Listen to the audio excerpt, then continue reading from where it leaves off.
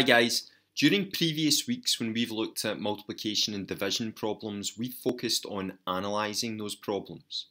Using bar models to understand the relationship between the values in order to help us make decisions about the strategy that we're going to use.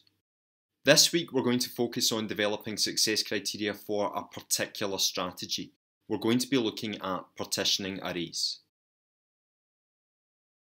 To begin with, let's get thinking. Here we've got four different problems, each with the same value, so those values aren't going to give you any clues about how to solve them. We've also got four different bar models that analyse these. I want you to match the problems with the bar models. You'll need to add the descriptions of the whole amounts and the parts. Then, if you like, you can have a go at solving these. Question 1. Peter buys 8 concert tickets for £96. What is the cost of one ticket? Question 2. Homer's restaurant bill comes to £96. He has £8 cash and pays the rest on his credit card. How much does he pay by credit card? Question 3. A flight to London costs £96. How much will it cost for Han to buy 8 tickets? And question 4. Two buses are needed to take children on a school trip. There are 96 children on the buses. 8 children are off ill. How many children are meant to be on the trip? Pause the video for a few minutes, discuss these with a partner, and then share your thoughts with the rest of the class. Let's match these up correctly. Let's have a look at the first one. Peter buys 8 concert tickets for £96. What is the cost of one ticket? Well, in this problem here, the whole amount is £96 and we're looking to buy 8 tickets. So we're looking for the bar that has a whole amount of £96 and is split into 8 parts. So you can see that's that yellow bar down the bottom. What about question 2? Homer's restaurant bill comes to £96. He has £8 cash and pays the rest on his credit card. How much does he pay by credit card? Well, in this problem here, the whole amount is the total bill, which is £96. So we're looking for a bar that has 96 as the whole amount. How many parts is that bar split into? Well, he pays some of the bill by cash and some by credit card. So we're looking for the bar that is 96 is the whole amount and is split into two parts. And we know that one of those parts is £8. So we can see there that must be the green bar. Question 3. A flight to London costs £96. How much will it cost for Han to buy 8 tickets? Well in this case here we know that each flight costs £96 and he's looking to buy 8 of those tickets which means we're looking for a bar that's split into 8 parts where each of the parts is 96. And you can see there, that's the red bar. Which means for question 4, two buses are needed to take children on a school trip. There are 96 children on the buses, 8 children are off ill. How many children are meant to be on the trip? Well, in that question there, the two buses doesn't really have anything to do with the calculation that we're performing, because actually we're interested in the number of children. We know that some of the children are on the bus and some of the children are ill. So we've got two parts. We know one of those parts is 96, that's the children who are on the bus, and one of the parts is 8, that's the children who are off ill, so we're looking for the whole amount. So as you can see, that relates to that blue bar there. It's time to get investigating with a partner. I've got a couple of problems I'd like you to have a go at together. A box contains 36 candles. Milhouse is trying to work out how many candles there are in three boxes. And you can see there, he's used an algorithm to multiply 36 by 3, and he's got an answer of 128. Ron and Lloyd are trying to work out how many candles there are in 24 boxes. And you can see there, Ron's attempt at 24 times 36 gives him an answer of 96. And Lloyd's attempt at the same problem gives him an answer of 624. So what I'd like you to do is have a think about the following questions. Can you spot any mistakes? Why do you think these mistakes were made? And can you have a go at analysing and solving these problems yourselves? Remember, it's not the answer that's the most important thing, it's how you work those out. So use bars to analyse them, whatever resources you've got available in order to solve them, and draw pictures and number lines in order to make your thinking visible. Pause the video Spend 8 to 10 minutes on those and then share your thinking with the rest of the class. To begin with, let's have a look at Milhouse's problem. Milhouse is trying to work out how many candles there are in three boxes. So let's analyse this ourselves. So I'm going to start by drawing a bar, and that bar represents the whole amount, and in this case, the whole amount is the total number of candles. How many parts are we going to split that bar into? Well, there are three boxes of candles, so let's split it into three parts. Each of those parts is the number of candles in one box, and now we can put in the numbers we know. In this case, we know there's 36 in one box, and we're trying to work out the whole amount. Now that we've analysed it, let's have a go at solving this, and I'm going to use place value counters in order to do that. So let's put out the number of candles in one box. There's the 36, and the second box, and the third box. So you can see there that we've created an array. We've created an array which is three rows and there are 36 in each row. But we've not needed to put 36 ones in each row because we've used those tens to help us. So all we need to do now is work out how much there is there altogether.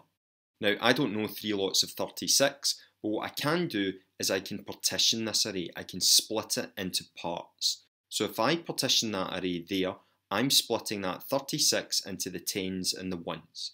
So I've got three lots of 30 and three lots of 6. Now three lots of 30 gives us 90, three lots of 6 gives us 18. Now all we need to do is add those amounts together. So 90 plus the 18 gives us 108. So there are 108 candles in three boxes. So why has Milhouse done that? He's used an algorithm which, when used correctly, will give us the correct answer. But he's got himself a bit mixed up. He's multiplied 3 by 6 to get 18 correctly, but when he's carried that 110 over into the tens column, he's then included that in the next calculation. So rather than multiplying 3 tens by 3 to get 90, he's multiplied 4 tens by 3 to get 120. Having the array there to visualise the calculation helps us avoid those mistakes that many of us make because those algorithms can get us mixed up, especially when we're relying on memorising rather than understanding them. Let's discuss that second problem. Ron and Lloyd are trying to work out how many candles there are in 24 boxes. So again, let's analyse this in order to make a decision about how we're going to solve it. Let's start by drawing the whole bar again, and that whole bar represents the total number of candles. This time, how many parts are we going to split that bar into? Well, we've got 24 boxes this time, so we might have to split that bar into 24 parts. And each of those 24 parts would represent the candles in one box. Now that we've done that, we can put the values in we know. We know there are 36 candles in one box and we're trying to work out the whole amount. But is there a way of avoiding splitting that bar into 24 parts? What we could do instead is split the bar into 10 boxes of candles because that would be easy to calculate and then another 10 boxes and then 4 boxes. So rather than having to add up 24 lots of 36, we can think about 10 lots of 36, another 10 lots of 36, and then another 4 lots of 36. However, what we're going to do today is we're going to look at how we can use an array in order to solve this problem. So here you can see I've drawn an array which has 24 rows and there are 36 in each row. Now I'm going to use base 10 materials to represent that. Now I don't know 24 times 36, so let's partition those values. Rather than having 24, as you can see there, we can split that into 20 rows and then 4 rows. And the 36 can be partitioned into 30 and then 6. So we've split that larger array into four smaller parts. We've got a part that's 20 rows by 30, a part that's 20 rows by 6, a part that's 4 rows by 30, and a part that's 4 rows by 6. So let's work these out one part at a time. For 20 times 30, each of those 10 that multiply together, we get 100. We've got two tens multiplied by three tens, so we get 600s. What about 20 times 6? Again, for each of those ones, we're multiplying it by two tens. So altogether, we get 12 tens there, which gives us 120. What about 4 times 30? Again, for each of those ones, we get three tens. We've got four lots of three tens, which gives us 12 tens, and again we've got 120 there. And then lastly, we've got 4 times 6, and 4 times 6 gives us 24. Now all we need to do is add up the 600, the two lots of 120, and the 24. And again, there are lots of different ways that we could do that.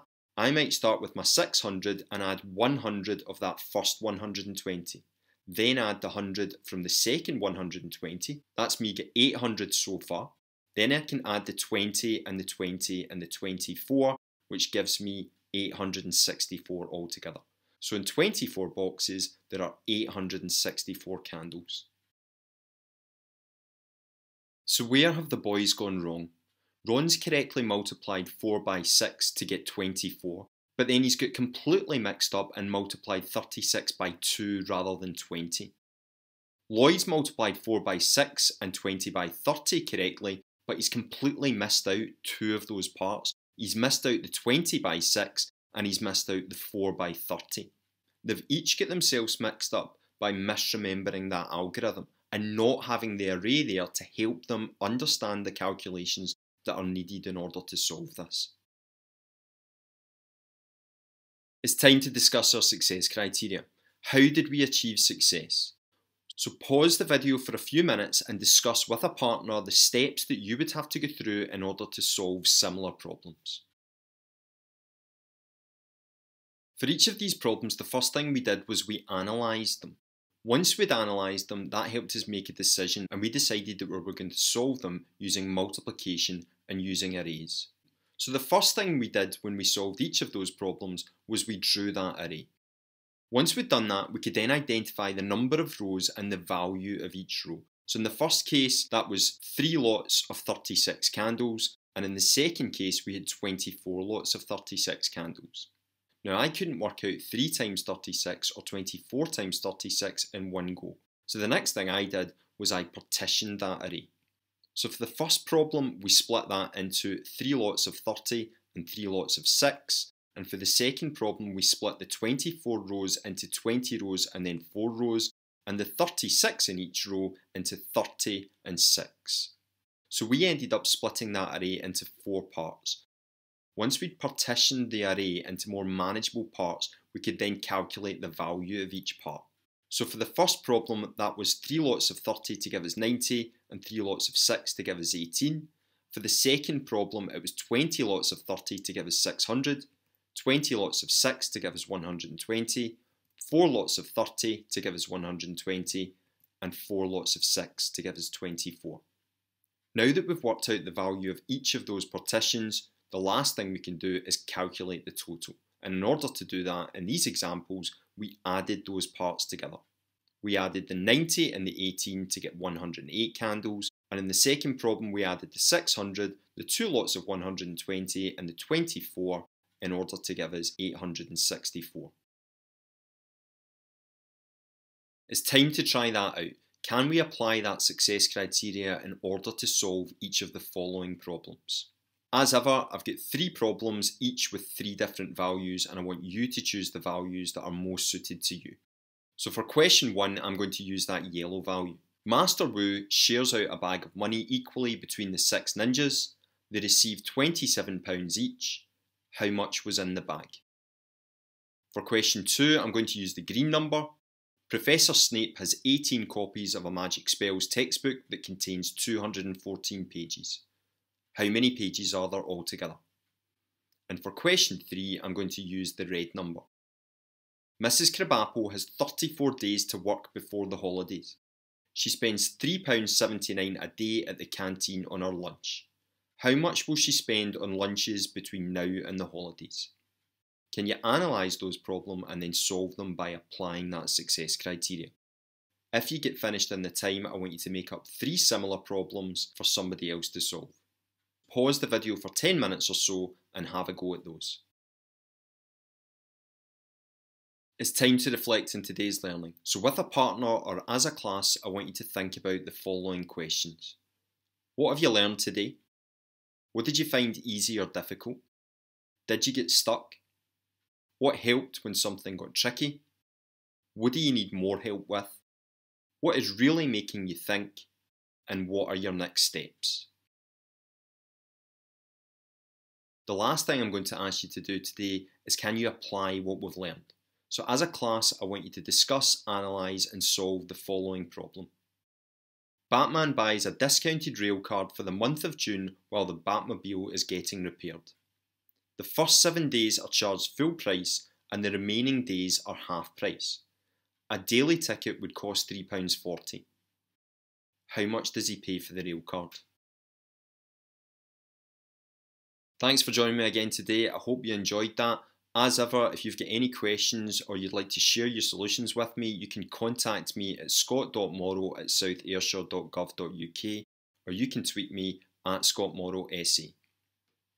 Next week, we're going to be analysing solving problems that involve mixed operations. I hope you can join me then.